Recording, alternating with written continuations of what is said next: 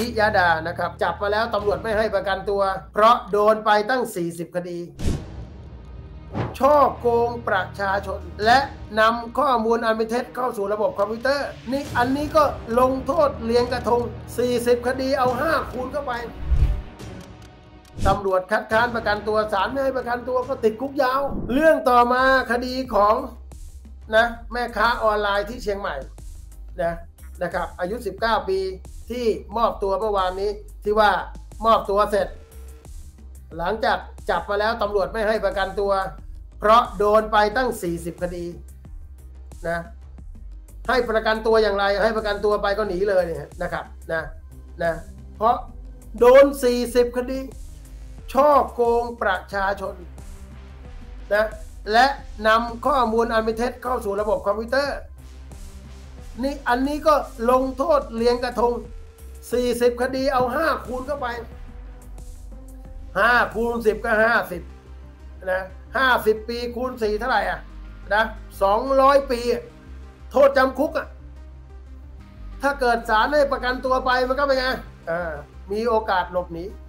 ตำรวจคัดค้านประกันตัวศาลไม่ให้ประกันตัวก็ติดคุกยาว นี่ผมบอกเลย ติดคุกยาวคดีนี้ นะครับ บอกได้เลยครับติดคุกยาวครับนะนะติดคุกยาว วันนี้มีประเด็นทางกฎหมายที่น่าสนใจ เธอบอกว่าเธอถูก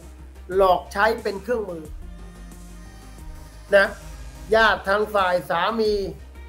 ครอบครัวสามีเป็นคนอยู่เบื้องหลังกระทำในการหลอกลวงประชาชนทั้งหมด ส่วนเธอนั้นถูกหลอกใช้เธอเป็นเครื่องมือ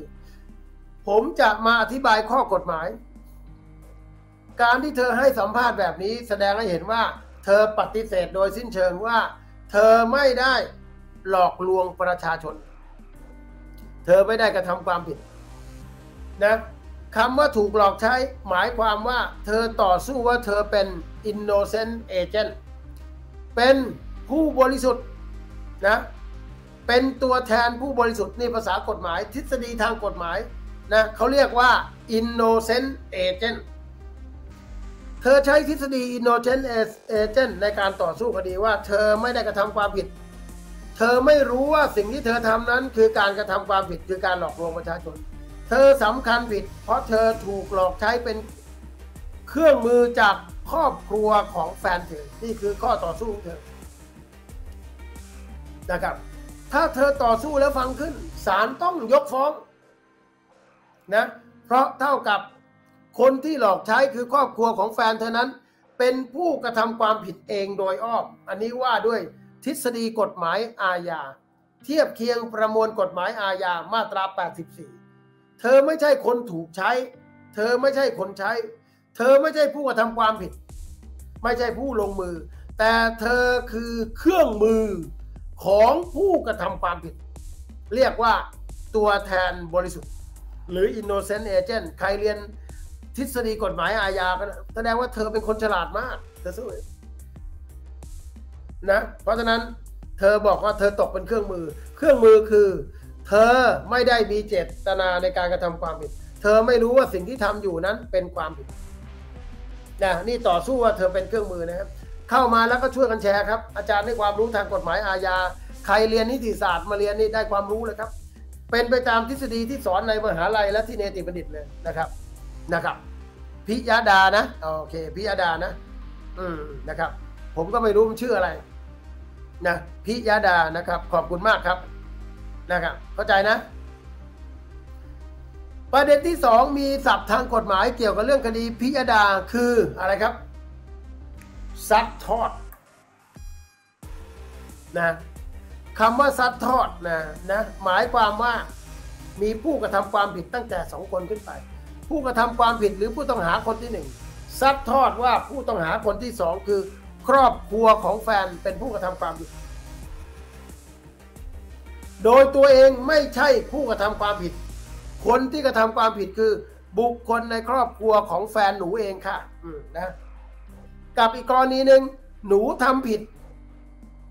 แต่คนที่ร่วมกระทำความผิดกับหนูคือบุคคลในครอบครัวของผัวหนู มีสองกรณี วันนี้มาอธิบายทฤษฎีทางกฎหมายแบบภาษาชาวบ้าน สมมุติว่าพิยดาต่อสู้คดีว่า ตัวเองเธอไม่ได้กระทำความผิด คนกระทำความผิดคือ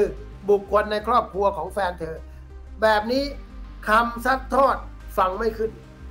นะครับศาลไม่รับฟังนะครับ ถือเป็นพยานบอกเล่าและเป็นคำซัดทอด